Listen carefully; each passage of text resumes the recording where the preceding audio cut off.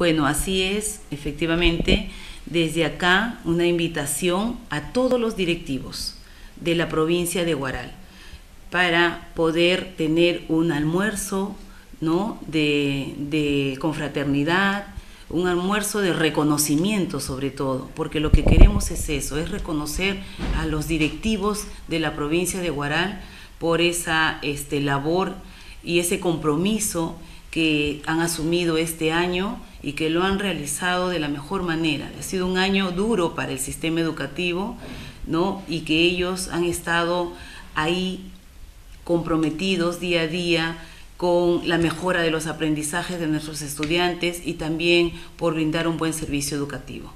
Esto eh, se va a realizar el día 27, es un almuerzo, quedan invitados todos, todos los directivos de nuestra provincia, va a ser en el castillo de Chancay, ¿no? Hemos contado con la participación y el apoyo de muchas personas, quienes también están comprometidas y quienes también apuestan por reconocer al directivo de nuestra provincia. Ahora, ¿sí está programado el horario? Sí, a partir de la una, es un almuerzo a partir de la una de la tarde. Esperamos a todos los directivos el día miércoles 27 en el Castillo de Chancay.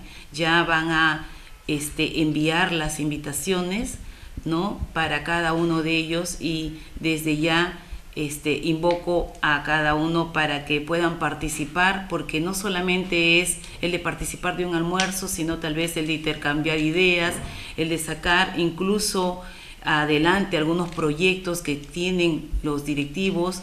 Lo estamos coordinando con la Asociación de Directivos de la provincia de Guarán. Los dirigentes han estado coordinando con nosotros este tema y queremos tal vez ese día que salga el reconocimiento al directivo con el día del director, ¿no? Con el día del directivo. Eso es lo que estamos buscando en ese almuerzo, que ese día nos pongamos de acuerdo, como en otras unidades ejecutoras, otras UGELES, ¿no? En otras regiones hay un día del director.